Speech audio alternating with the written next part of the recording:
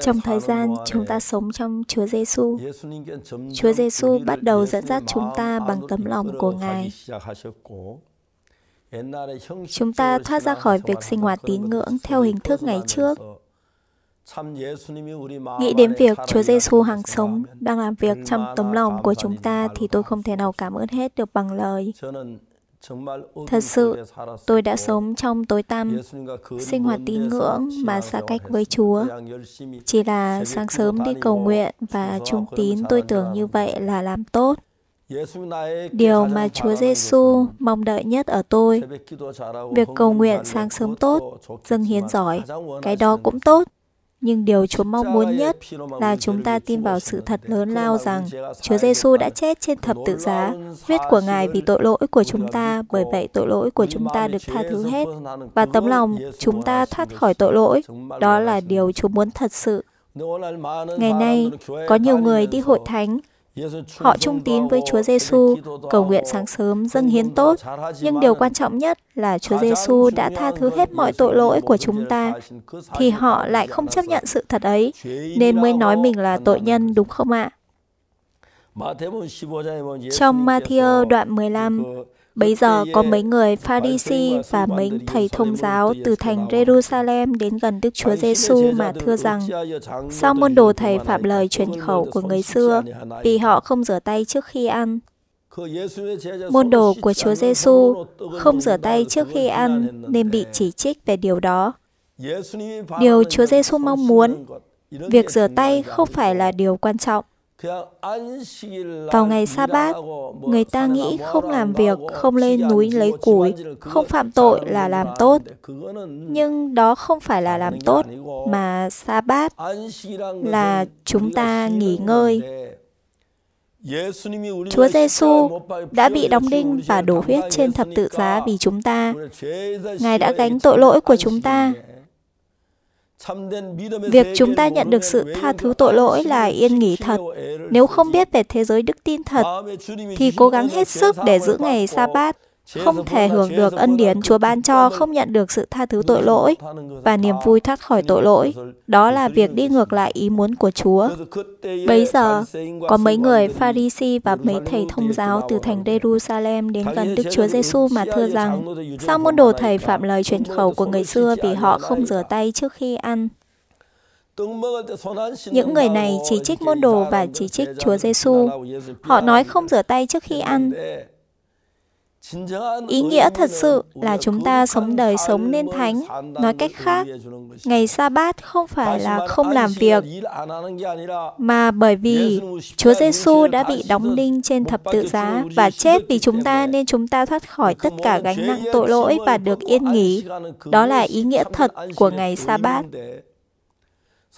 Hằng ngày, con người chỉ giữ ngày sa bát theo như luật pháp vẫn không thể thoát ra khỏi tội lỗi. Tín ngưỡng không phải là điều vớ vẩn. Nếu đọc chi tiết Kinh Thánh, thì Kinh Thánh nói cho chúng ta chỉ bởi Chúa Giêsu thập tự giá mà chúng ta được thoát khỏi tội lỗi.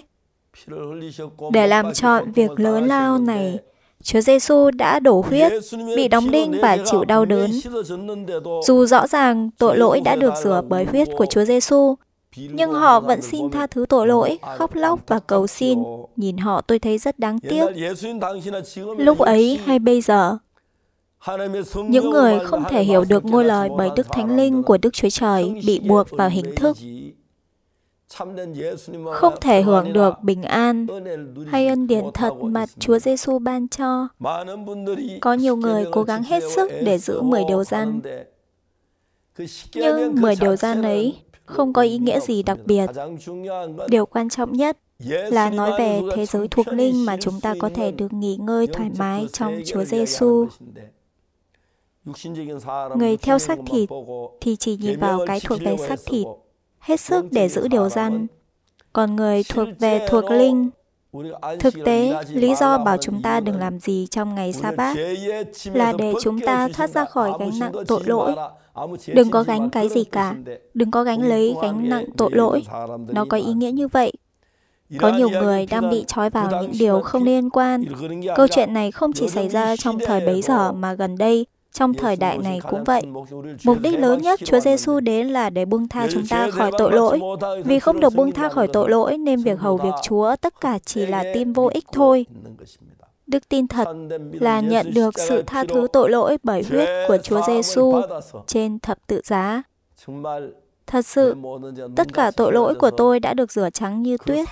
Cuộc sống được phước và bình an là tín ngưỡng tin Chúa Giêsu thật. Nhưng con người không biết điều ấy, mà chỉ nói một cách hình thức. Trong Matthew đoạn 15, có mấy người pha đi si và mấy thầy thông giáo từ thành Jerusalem đến gần Đức Chúa Giêsu chỉ trích việc không rửa tay trước khi ăn. Chúa Giêsu nói rằng đó không phải là việc gì lớn cả mà điều quan trọng nhất là tín ngưỡng thật. Chúa Giêsu phán rằng, dân này lấy môi miếng thờ kính ta nhưng lòng chúng nó xa ta lắm. Sự chúng nó thờ lại ta là vô ích vì chúng nó dạy theo những điều dân mà chỉ bởi người ta đặt ra. Điều chúng ta tin thật sự là sự chết của Chúa Giêsu. Ngài đã bị đóng đinh trên thập tự giá và chết. Ngài đã chết để buông tha cho chúng ta khỏi tội lỗi. Nên nếu biết chi tiết sự chết của Chúa Giêsu trên thập tự giá thì biết rằng mình đã thoát khỏi tội lỗi.